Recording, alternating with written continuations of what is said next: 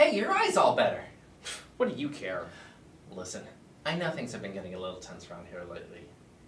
Well, what do you say we put it all behind us, let bygones be bygones, and start all over again, okay? Just don't hurt me anymore. Of course not. All right. Hello, and welcome to another Astro One video presentation. Today we're going to be talking about one of the densest objects in the universe, pulsars. Here to help me as always is my assistant, Steven. Pulsars form when massive stars begin to fuse iron in their cores. Unlike lighter elements, iron actually absorbs energy when it begins to fuse. Because of this, after massive stars fuse their nuclei up to the point of iron, all fusion stops.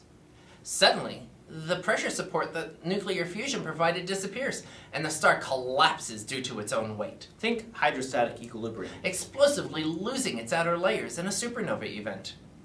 Remember when we demonstrated the conservation of angular momentum? Hmm. Now watch what happens as he pulls his arms in. Oh.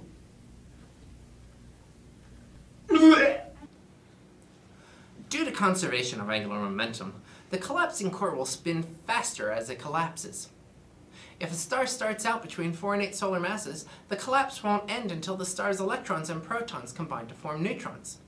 The resulting object, what astronomers call a neutron star, is composed almost entirely of neutrons and is about the size of a city.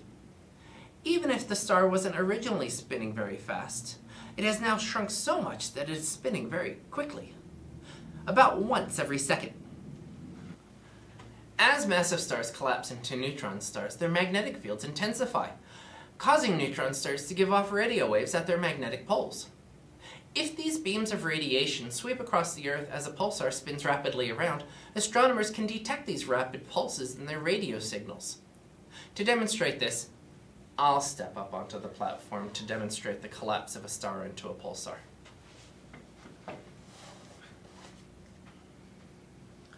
As a star collapses, it begins to spin faster. Pulsars give off a beam of radiation along their magnetic poles. Oh, my eye! Remind you of anything? It really hurts! Pulsars are often compared to lighthouses, and this model of how a pulsar works is known as the lighthouse model. I can't see! Well, that concludes another Astro One video presentation. See you next time! Whoa! Ah.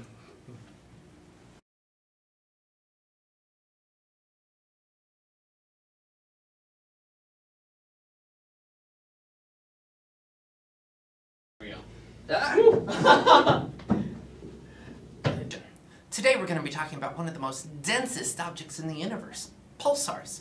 Here to help me as always is my assistant, Steven. Pulsars form when massive stars do something. you also said most densest. Did I? You did.